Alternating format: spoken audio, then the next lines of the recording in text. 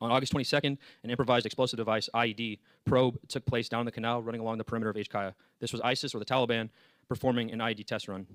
We reported this to our chain of command. Days later, we received word to be on the lookout for two vehicle borne IEDs, described as a gold or white Corolla and a green Mazda convertible. Around 2 a.m. on August 26th, Intel guys confirmed the suicide bomber in the vicinity of and nearing Abbey Gate, described as clean shaven, brown dressed, black vest, and traveling with an older companion. I asked the Intel guys why he wasn't apprehended sooner since we had a full description. I was told the asset could not be compromised. Throughout the entirety of the day on August 26, 2021, we disseminated the suicide bomber information to ground forces at Abbey Gate. He was spotted somewhere from noon to 1 p.m. by myself, then Sergeant Charles Schilling, and another. The anomaly in the crowd, who was clean shaven and fit the description exactly, traveling with an older gentleman. The individual was consistently and nervously looking up at our position through the crowd. The older of the two wore a black silky hijab that was covering his face most of the time. They both had obvious mannerisms that go along with who we believed him to be. They handed out small cards to the crowd periodically, and the older man sat calmly and seemingly coached the bomber. Over the communication network, we passed that there was a potential threat and an IED attack imminent. This was as serious as it could get.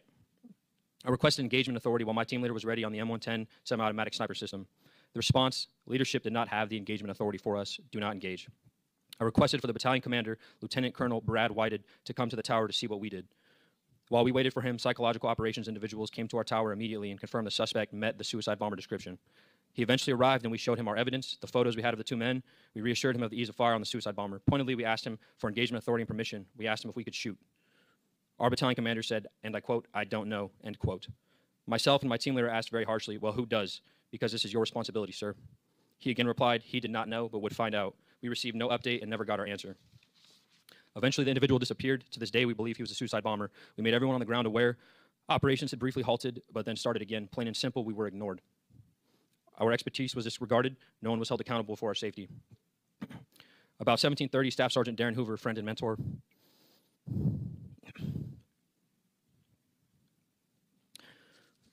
came to get me from the tower to go help find an Afghan interpreter in the crowd.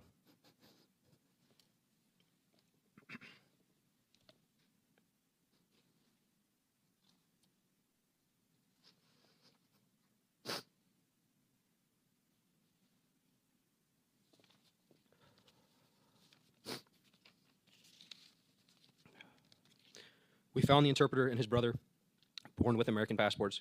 They told us five told us of five family members still in the canal. I stayed there waiting for the family members standing against a two foot canal wall. Ten minutes passed. then a flash and a massive wave of pressure. I'm thrown 12 feet onto the ground, but instantly knew what had happened. I opened my eyes to Marines dead or unconscious lying around me.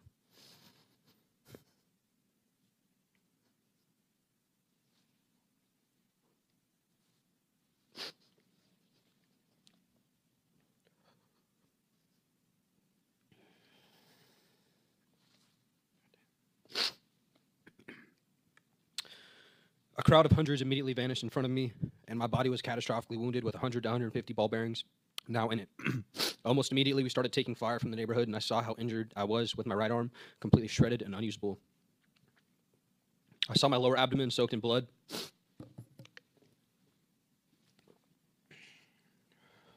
I crawled backwards seven feet, roughly seven feet because I thought I was still in harm's way. My body was overwhelmed from the trauma of the blast. My abdomen had been ripped open, every inch of my exposed body, except for my face, to ball bearings and shrapnel.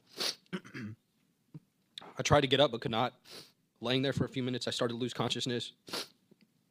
When I heard Chaz, my team leader, screaming my name as he ran to me, his voice, his voice calling to me, kept me awake.